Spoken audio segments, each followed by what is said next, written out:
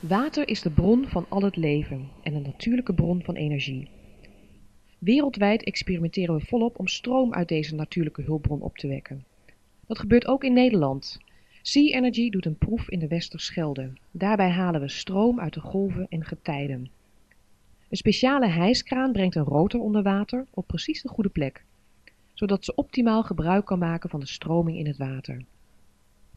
Die stroming drijft de rotor aan. Dat gaat met snelheden tot 2 meter per seconde. Een relatief lage omwentelsnelheid die geen gevaar oplevert voor de dieren in de zee. De rotor heeft een verticale as met drie bladen. Daarmee bestrijkt een oppervlak van 25 vierkante meter.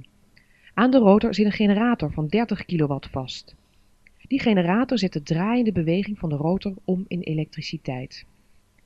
De elektriciteit die Sea Energy zo opwekt, levert stroom aan zo'n 100 huishoudens.